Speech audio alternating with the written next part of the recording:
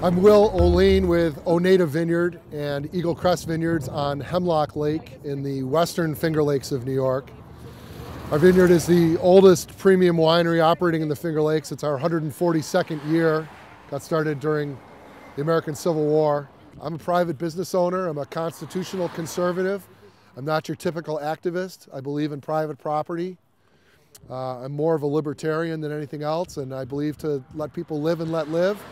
But uh, I draw the line where people risk my livelihood, my way of life, my friend's way of life, and the precious and protected Finger Lakes of New York State. I'm here today on Seneca Lake, one of the 11 Finger Lakes in upstate New York, to make a final stand opposing the plans of Crestwood Midstream to store flammable uh, methane gas and liquid propane and butane gas in the abandoned salt caverns uh, on the shores of Seneca Lake. We're just north of the Pennsylvania shale play, and they want to make the Finger Lakes, which has been wine country for 150 years, into the gas station for the Northeast.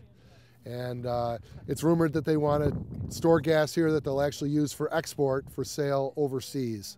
These salt caverns are not seismically stable. Uh, there's evidence to show that there's been erosion of uh, roof walls and other things that make them unsuitable for gas storage.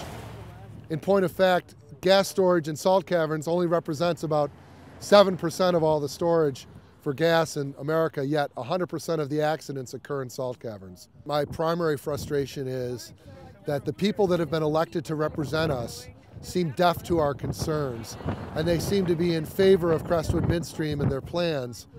And it's hard for me to understand what their allegiance is to a Texas-based multinational company the people who elected our leaders and pay their salaries right here are providing vocal local opposition to this.